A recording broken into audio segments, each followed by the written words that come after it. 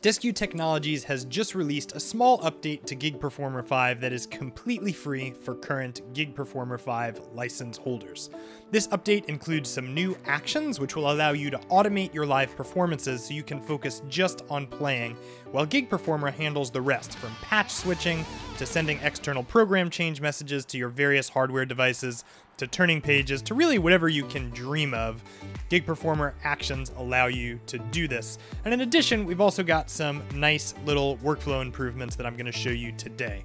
We're going to start with going through the actions. And these actions, most of them except for one, which I'll show you, are available both within the setlist view as a song part action and from a marker in the streaming audio file player. If you want to check out more about markers, watch Marty Wade's awesome video where he goes into detail about how to use markers. For now, let's start with how I've got this gig file set up. I like to keep my streaming audio file player for the most part in the global rack space, and this allows me to make use of those tracks from anywhere within my gig file, which I think is advantageous, although there are certainly use cases where you may want this in a local rack space. But in order to use these new awesome actions, I need to give my streaming audio file player a name. If I right mouse click, I can scroll down here to OSC GP script handle and choose set handle and I can give this a name. Now, I just named it SAFP Master because that's really easy for me to remember. You can name it anything that you'd like. Now, the first action I want to show you is that now within Gig Performer, you can use song part actions or markers to select a new track and to control whether it plays, pauses, or stops. So in this tune, Tritone, you'll like it, I'm going to have the intro start and select which tracks I would like to use. So when I go into actions here, I'm going to insert a new action and I'm going to choose select track. This is going to let me pick whichever track I want to use. So if I paste in here my uh, name and check global, all of my tracks will become available. And I know for this particular tune, I want jazz drums. Now, what do I want jazz drums to do? Well, now I can set that from here as well. Going to the drop down and choosing SAFP track operations. And I can say global play. And I'm just checking this global box because my streaming audio file player is in the global rack space. Now, when I hit save, those actions will be there and we can actually test and see if this works. So I'll bring up the streaming audio file player and I'm going to select Funky Groove since that is not the tune that we're going to use. And when I click Tritone You'll Like It, it is going to switch my tracks to jazz drums and start playing.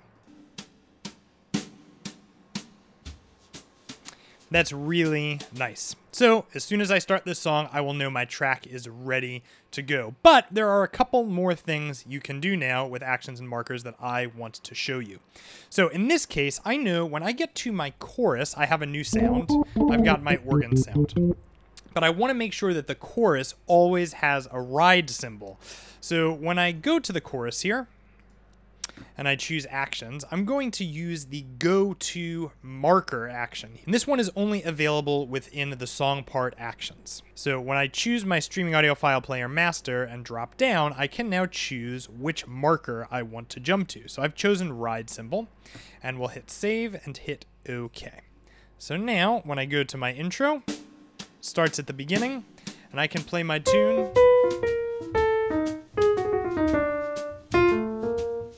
And I know when I get to my chorus, I can switch right away to this ride cymbal and I've got my organ. Which is a beautiful thing. But what if I knew not too long after I want to make sure that my organ sound switches to having no rotor or rotor or both or whatever it is that I actually would like to do. You can now do this within the streaming audio file player without needing a widget. So check this out. In the streaming audio file player, I have a marker here that says ride cymbal. Here it is. I'm going to place a marker just after this, and I'm going to call it parameter adjustment. And I'm going to use an action here to begin to change a particular parameter. Now I know that I'm going to want to adjust the rotor speed on my organ sound.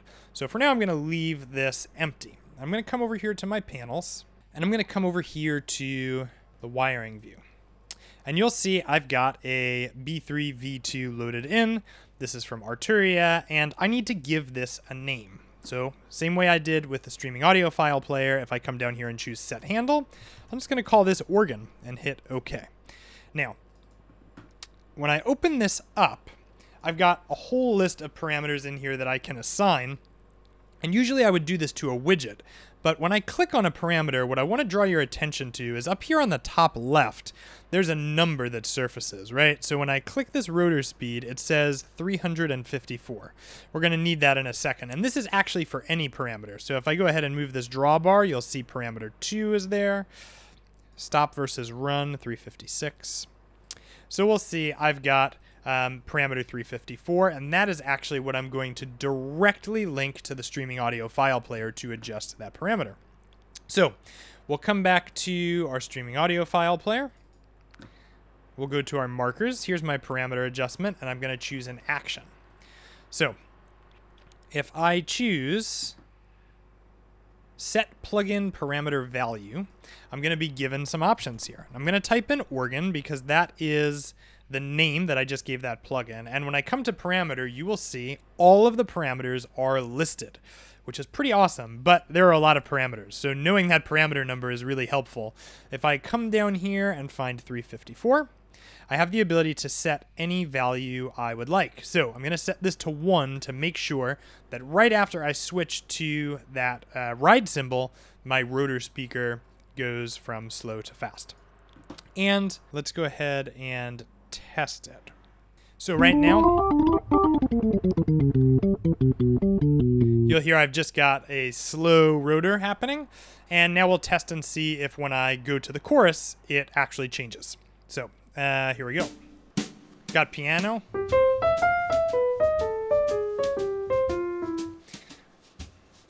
I would move to my verse. And here we go to the chorus.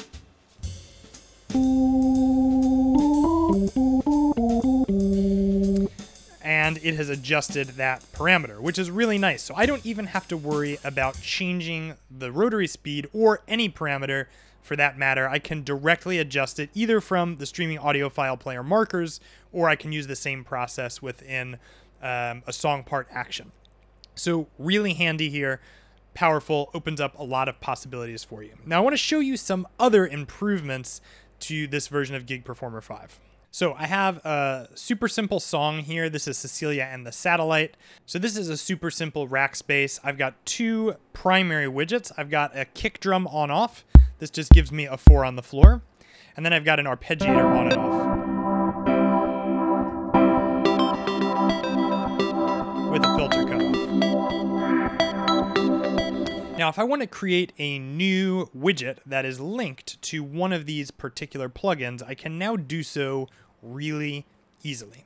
So we're going to use this filter cutoff as an example. Right now, this filter cutoff is linked to the filter to cutoff of the pulse pad, which if I flip over here, is inside of Pigment this filter 2.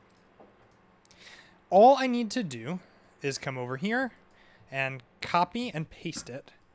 And this new widget is actually going to keep its association. So it's going to know that it goes to a different parameter, but I no longer need to remap this widget, which is a really nice workflow improvement, especially if you are making a lot of adjustments to your front panel when you're working. One final thing I want to showcase from this update is a cool little update to the MIDI monitor if you're seeing those on the screen right now that you'll see I've got some colors. And if you don't like those colors, I have good news for you because you can actually set them yourself. If you go into the options, you can go to display and down here at the bottom under miscellaneous, you can choose MIDI monitor colors. When I click that, it's going to give me the ability to set colors for all different things. Note on, note off, polytouch, control change, program change, channel pressure. So this way you can have a really clear idea of what you're seeing just by color. This is a nice, handy little feature. In addition to this, we also have a brand new OSC command that allows you to shut down Gig Performer with or without saving by using an OSC message. If you want to learn more about Gig Performer, then you can check out the videos that are on the screen right now, and we'll see you again soon.